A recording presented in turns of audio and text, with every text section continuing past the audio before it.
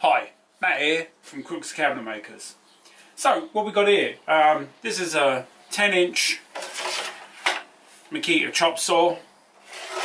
I bought it really cheap off eBay and I'm going to do it up. So the first thing we've got to do and check is whether it's working or not. So the button from the top's gone missing and I've replaced that with a little bit of dowel for now.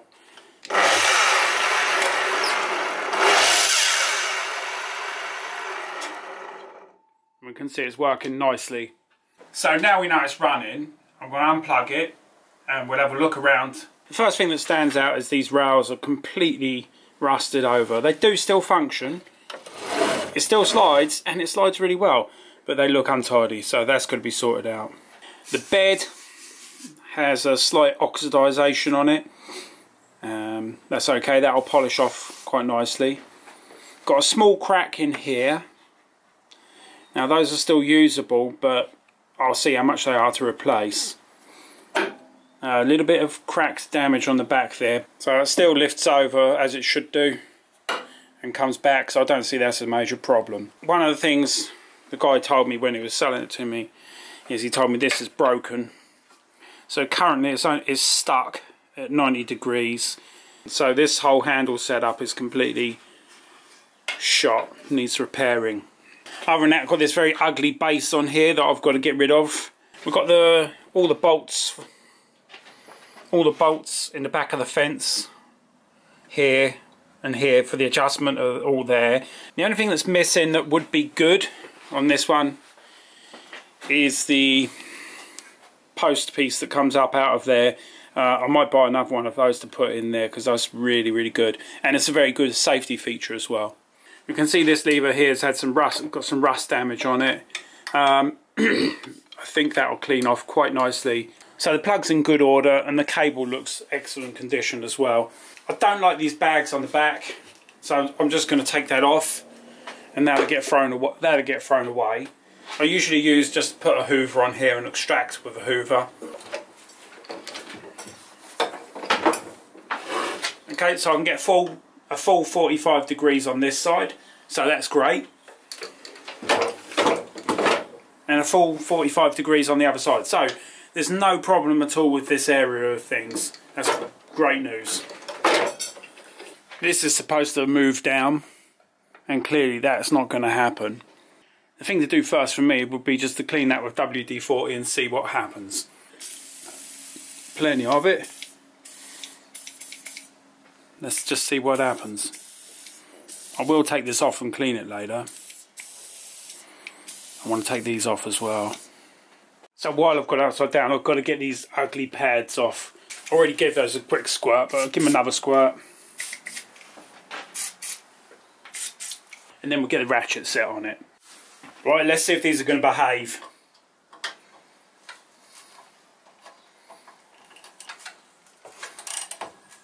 No, definitely not. So we go from a little bit of ratchet set to it's going to be a grinder job. Try knocking that through. Yep. Lovely job. Okay, one more.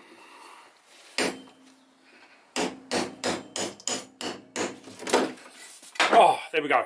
Got those on. That's been an eyesore. I don't like it. Looks alright under there, no problem. Right, let's get the other one off and then we're good to go.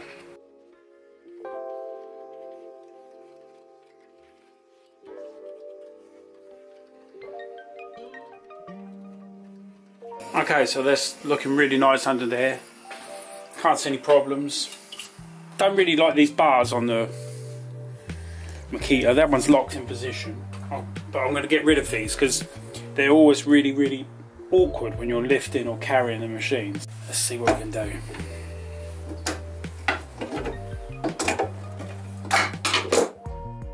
Yeah, we got it.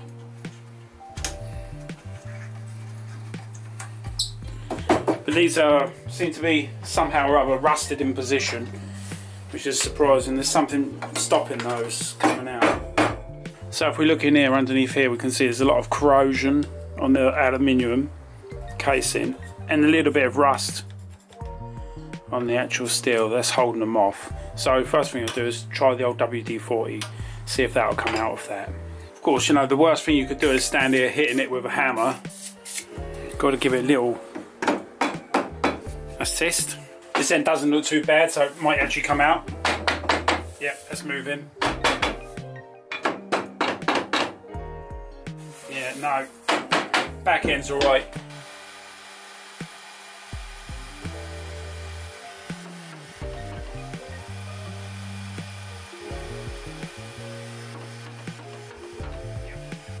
Okay, so this side's ready to go.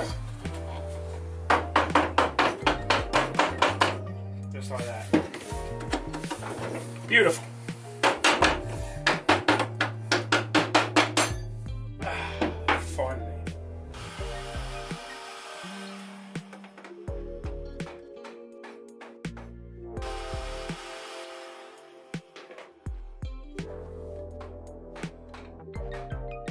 Can get rid of some of the rust build up.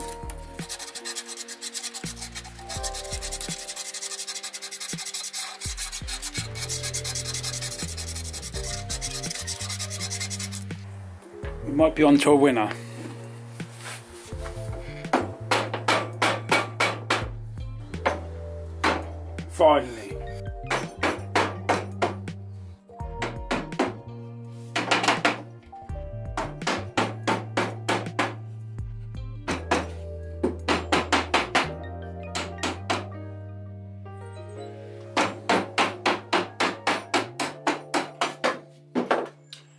Job done. I'm trying to take this off and find out what's stopping this from moving, stopping it from working.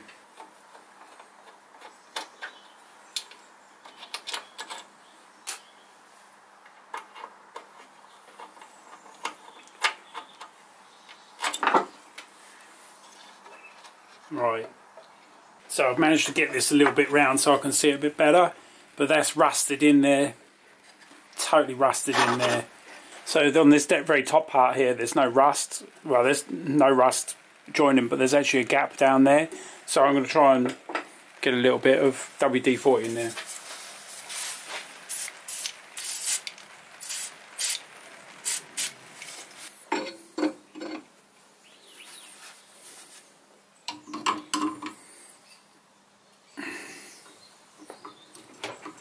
Okay, we've got some movement.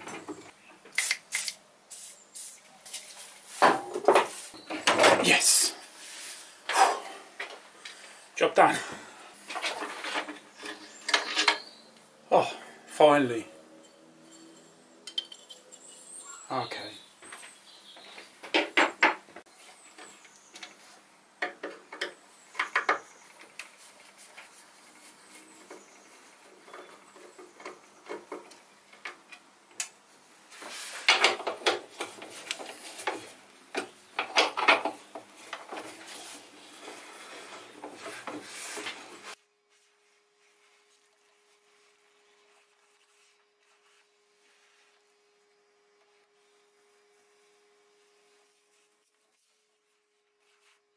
So now I've re removed all that, I can see that this bed is running, but it's seriously heavy. That should probably needs just a clean out, and that'll be just fine.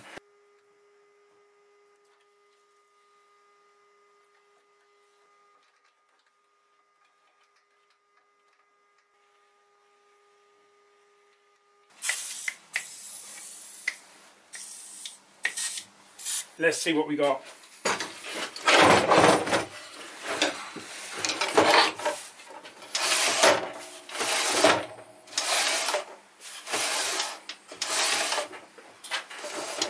Okay, I have a sneaking suspicion this is a push fit piece, so I'll just try it out and find out. See if we lever it off.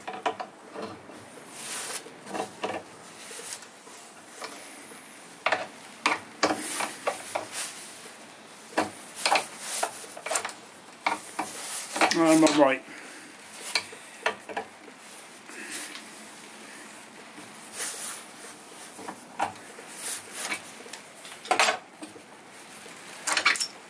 There we go. see if we can get it, mate. Finally.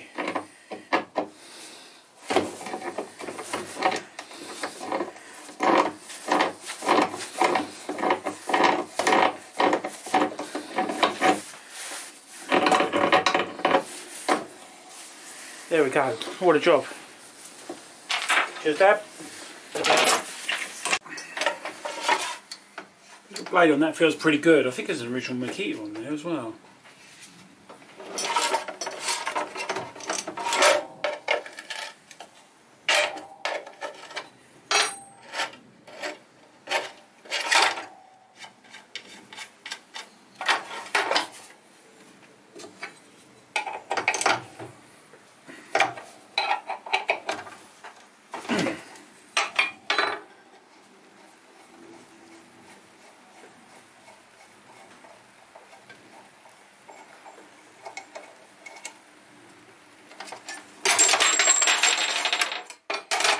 Blade has actually still got a pretty good edge on it.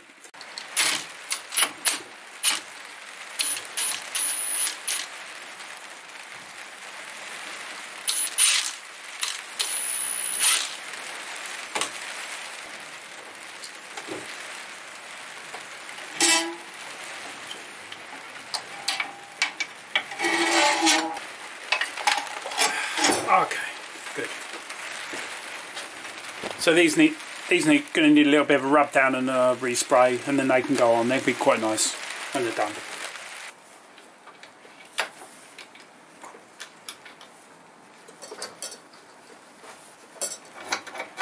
One of the things I like about the Makita is so many bits on the Makita can work with the spanner that they supply with it. So I've never undone one of these before so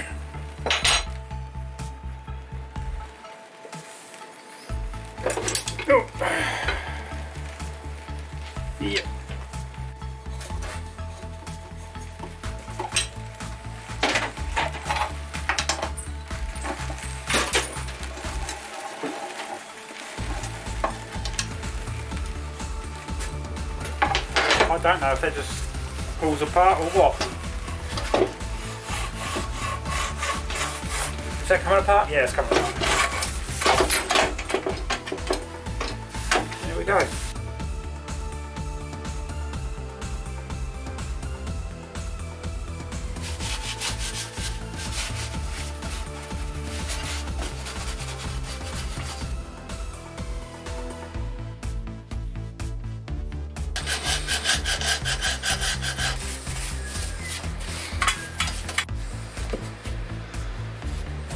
Finished result.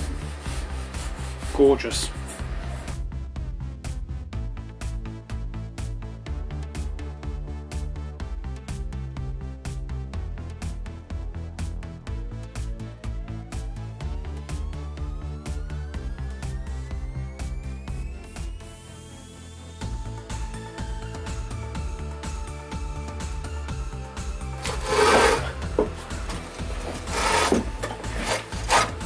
So rusted up they won't come out from there.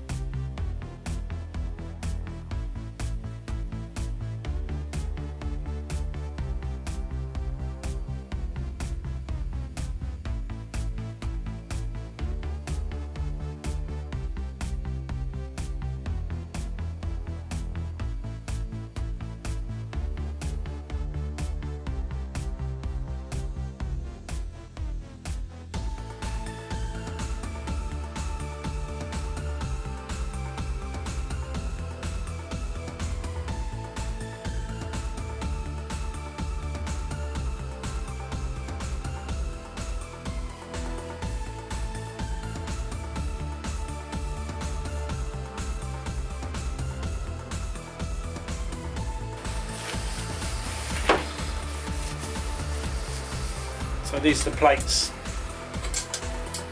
Come off. Let's give those a little polish up and they're away.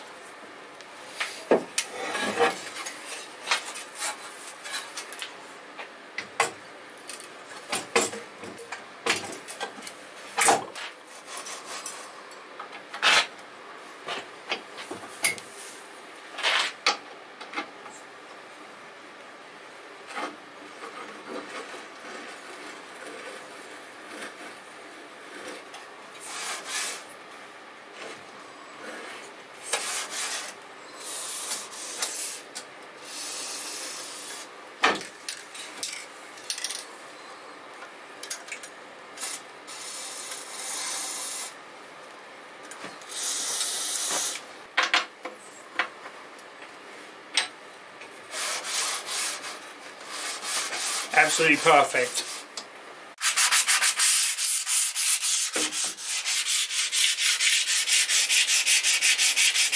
Get a little bit of dry lube inside here.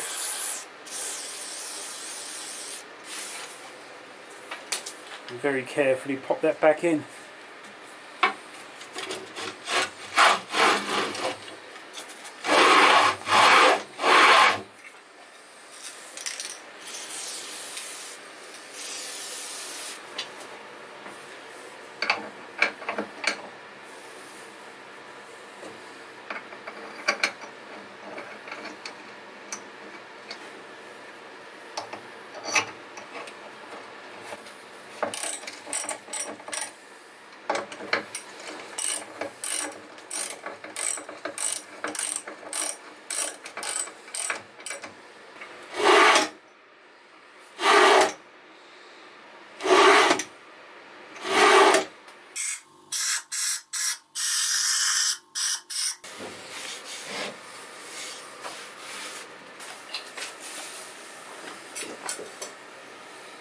Let's work it out as we go, mate.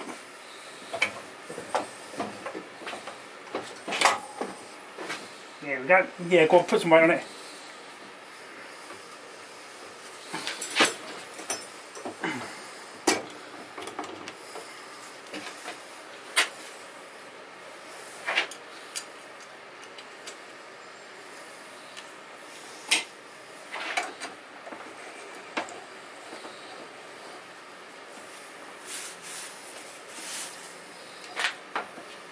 Okay.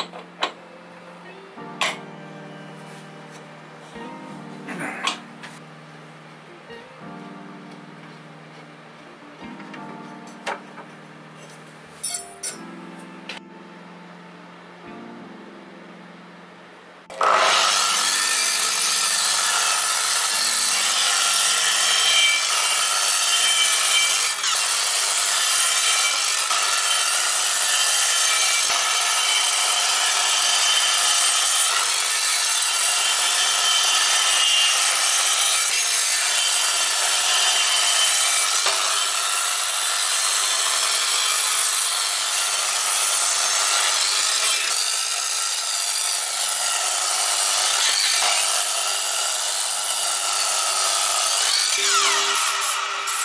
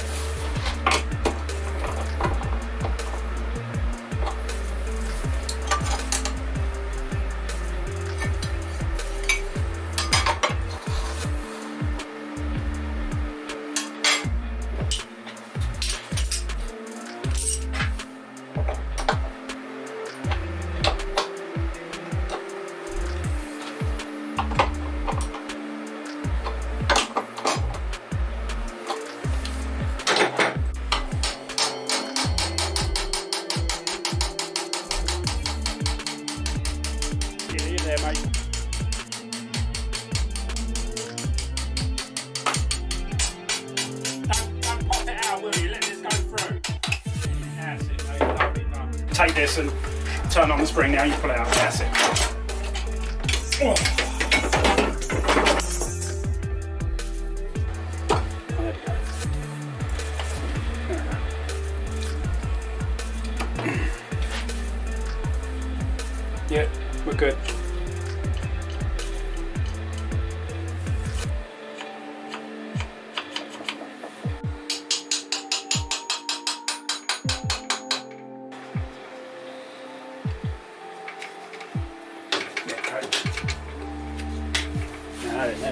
that a treat, mate.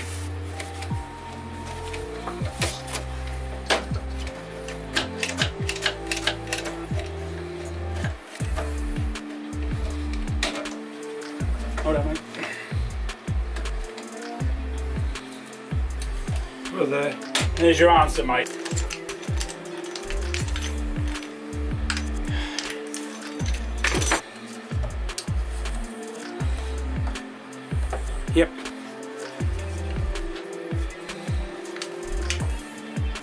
Okay, that should be us.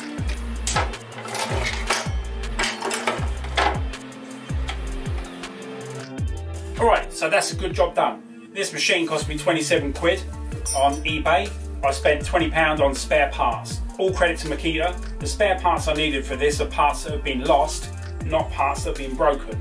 And I've given it a, a trial run. Uh, I managed to get a 4x3 cut on there, no problem at all. And as we know, Makita do some great stuff. Thanks for watching. Have a nice day. Stay safe in the workshop.